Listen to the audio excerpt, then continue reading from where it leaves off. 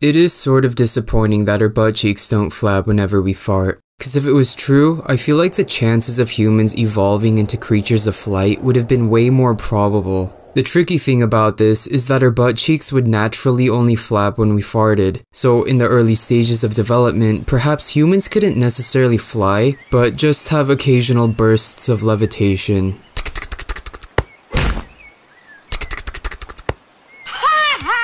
So what if even later, humans evolve in such a way that if they open their mouths while running, it allows more air to pass through them combined with the pre-existing fart mechanic, providing a consistent flow of fart to keep the cheeks flapping.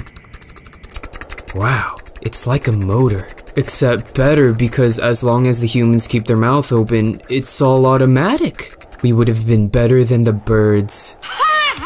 And it even gets better because most of the fart content that's coming out is simply the air entering from their mouth. So it's like 90% clean air and only 10% gassy fart. So consequently, it would smell just fine to fly.